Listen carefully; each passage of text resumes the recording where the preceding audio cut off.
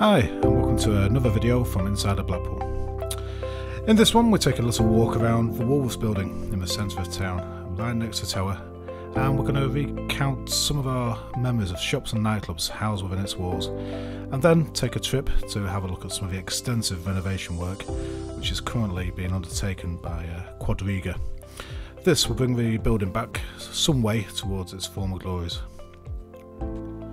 As ever, or uh, is standard nowadays, if you like this video, please consider giving it a like, a comment, or even give us a subscribe. Um, as ever, really appreciate it if you do. Uh, because we're lazy, we're doing this um, video from memory. Uh, these are our, our family collective uh, memories of the Woolworths building. Uh, we're bound to have missed some nightclubs or, or shops. So if there's anything you remember that we don't, then please uh, let, let, us know and um, when the renovation work's complete we may revisit this video and do a new one and uh, include uh, your memories. But for the time being, sit back, relax as we begin our tour around the building.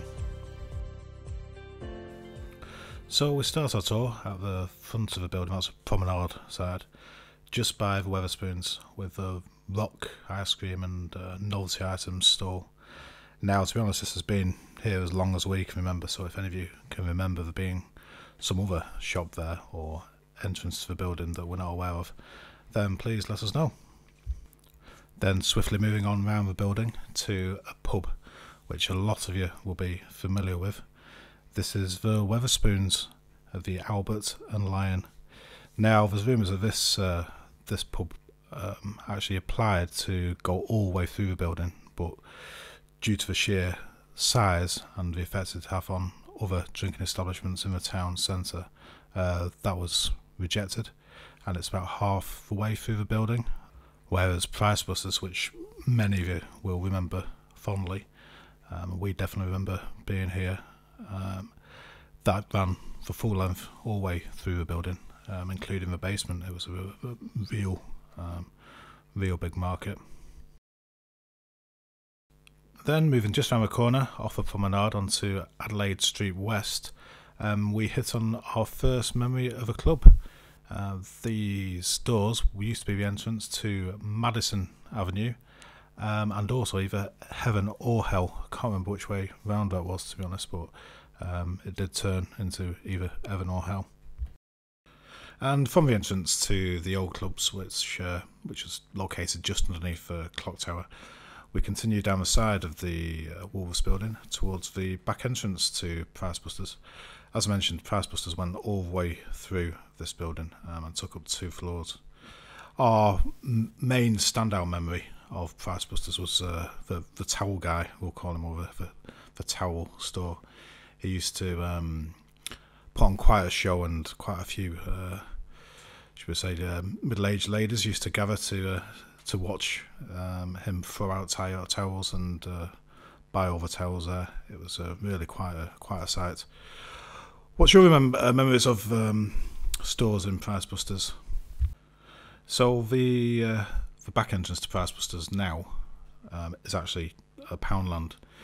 Now, one store which we remember being there briefly, which I'm not sure um, how many of you will remember this, is Peacocks. Um, that was also located in the, the Poundland um, premises. And our final stop on the tour around the Wolves building um, is the entrance that was to Mace's nightclub, we remember, um, and again, either Heaven or Hell. Um, this is now Sports Direct and also houses Game. Uh, this is on Bank Hey Street. So that's it for our memories of um, shops and nightclubs in the the Woolworths building. We were too young to remember Woolworths actually being in there. Um, what's your memories? Please comment uh, on the video below. So, as I mentioned, Quadriga are currently working hard to restore uh, the Woolworths building to its uh, former glory.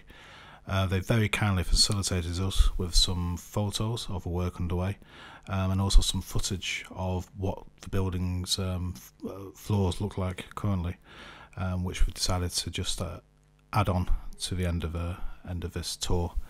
Um, so please um, enjoy. Let's start by sharing with you some of the wonderful views that you can see across the town from the top of the Woolworths building. This one's looking north um, towards North Pier, then south, that's towards Central.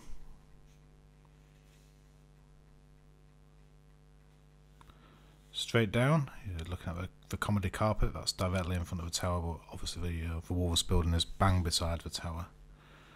And then um, looking down on the car park that's on top of um, the Houndshill shopping centre.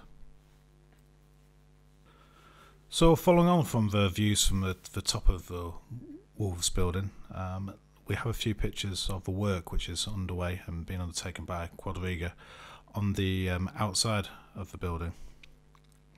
As you'll see, it's um, it's got full scaffolding all over uh, the building now, including uh, the clock tower.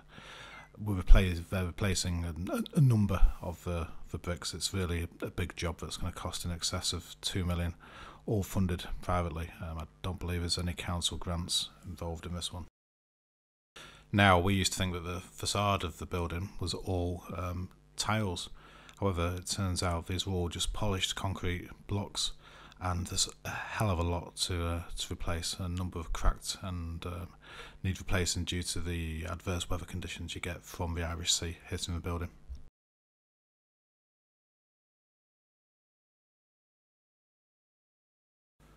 So as you'll know, there's a number of tenants in the building now, Sports Direct, Wetherspoons, um, Poundland. However, there's also still a couple of floors which are, are empty in the Woolworths building. Um, we've got a number of photos uh, to share with you of these floors and also some video footage.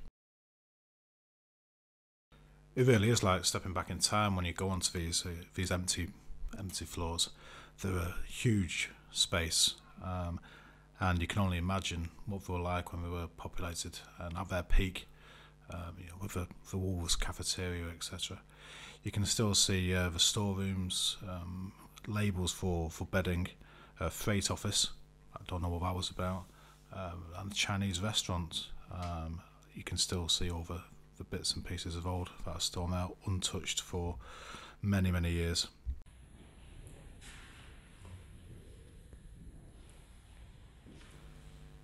As you'll see, these are huge spaces, um, really going to waste. It is a shame because obviously um, being located bang next to the tower, these really should be um, prime uh, retail or, or leisure, leisure premises, um, but have remained empty for a good number of years now. We do hope you enjoyed this uh, this tour around the Woolworths building with us and the, the sneaky peek we managed to get inside, courtesy of Quadriga. Uh, our thanks go to them. If you did enjoy this video, then please give us a like, a comment, and a subscribe. Until next time, thank you.